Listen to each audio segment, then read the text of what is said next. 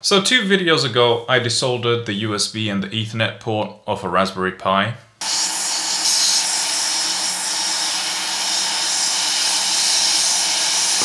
Hey. So then why did I decide to solder the USB back on? Stay tuned and you'll find out. But before that, this is video 5 of my building a handheld console series.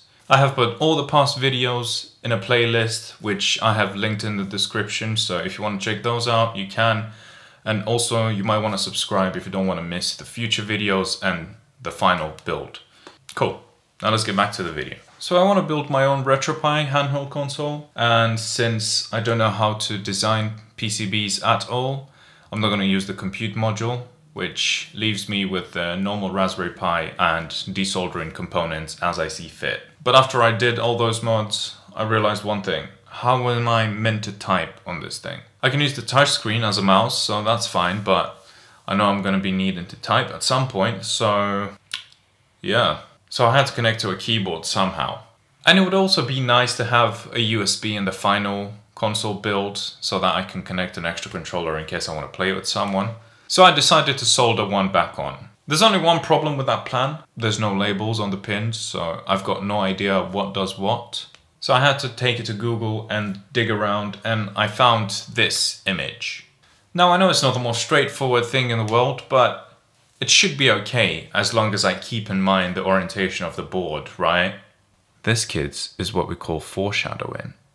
I proceeded to make a schematic of the pins and then try to label them according to that image, but I think I must have swapped the board, turned it around a few too many times because I definitely lost track of the pins. So um, that could have been pretty bad for the board, but I didn't need to connect any high power components to that USB, so luckily I don't think the danger was that high. So I went ahead and cut some cable about 10-15 centimeters and then I stripped both ends. Right, that's six, so I need three more. So I've got my two grounds here. Then this is the V-bus, so that's done. And now I need data plus and data minus. So I'll cut two more white ones and it will be, the minus will be white and the various pluses will be colored. I'm still to decide. I think yellow is going to be data just because I think that's usually what they do in USB. I'm not sure. So, And then I tinned the ends to make it easier to solder and went ahead with the procedure. The cables are stripped now I gotta tin them and then we can start soldering. One half done, 17 more to go. There's gotta be a smarter way of doing this, but lucky for me, I've got this, which it's not very useful for soldering, I don't like it, but it's got these clips so I can use those to hold the cables in place and do more than one at once. Alright, that one should be tinned enough. So I'm gonna put it under because hanging off the board. Right, one side is done. Now on the other side,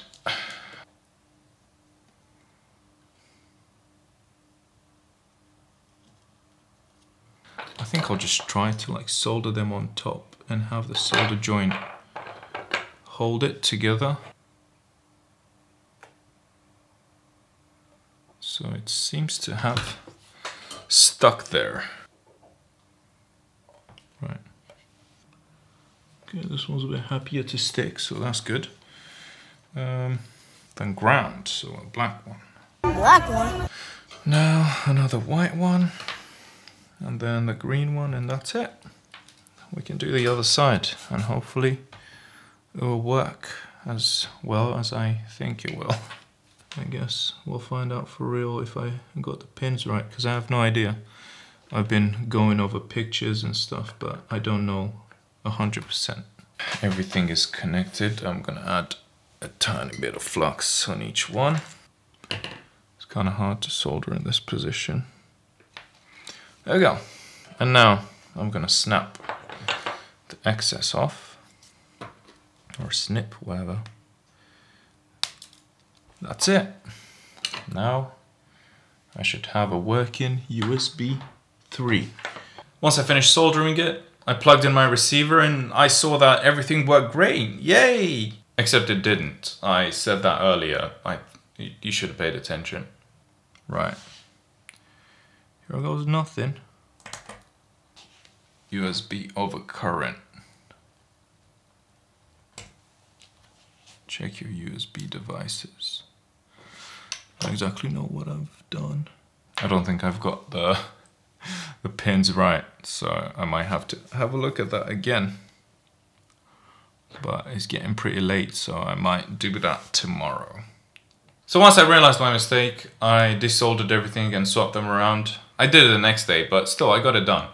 I've got my keyboard here, so this time it should work.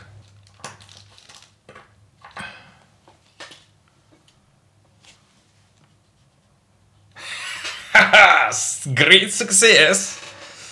Cool. Well now, I can connect to the Wi-Fi and what I'm going to do first, so I don't ever have to do this again, is install a virtual keyboard so that I can use the touchscreen to type stuff. Okay. So, oh yeah, let me connect to the internet because that was, I probably won't be able to install anything without the internet, so cool. So now I'm connected to the internet. So all we need to do is go to the terminal and do sudo apt install matchbox keyboard.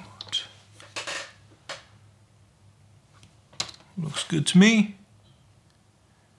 And once that was done, I installed my virtual keyboard and everything went great with the keyboard and it worked and they lived happily ever after. Except it, they didn't. The keyboard launches in the middle of the screen and is a tad bit small in my opinion. And from what I read on the internet, it's got something to do with the screen resolution, but that's another problem for another day. Okay. Uh, accessories. Keyboard. Why is that so small? At least I got that USB on.